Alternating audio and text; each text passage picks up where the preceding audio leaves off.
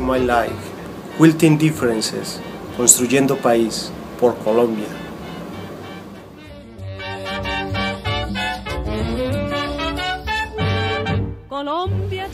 Uh, my name is Beatrice Lopez. I'm an economist. I was born in Elizabeth, New Jersey, uh, from Colombian and Puerto Rican parents.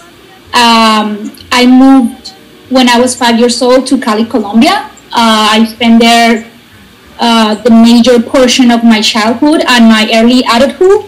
And then I moved to New York City to study my master's degree. Uh, the way I build social capital abroad is by reconnecting with Colombian with the Colombian community, which are friends, family, and colleagues, to share our experiences, given our cultural similarities.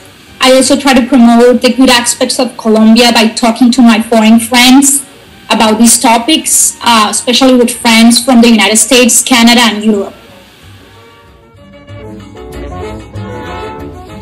For the purpose of this discussion, um, social capital uh, means to me to preserve my Colombian identity and to promote the name of my country abroad.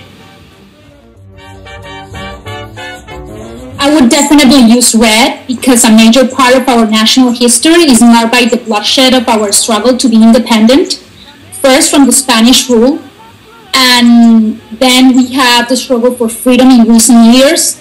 I'm referring to the armed conflict and drug traffic, uh, but also the red color uh, means the passion of our people and the love we feel for our country. My favorite color is white. Uh, this color represents peace, is neutral, uh, and can be also worn with any other color.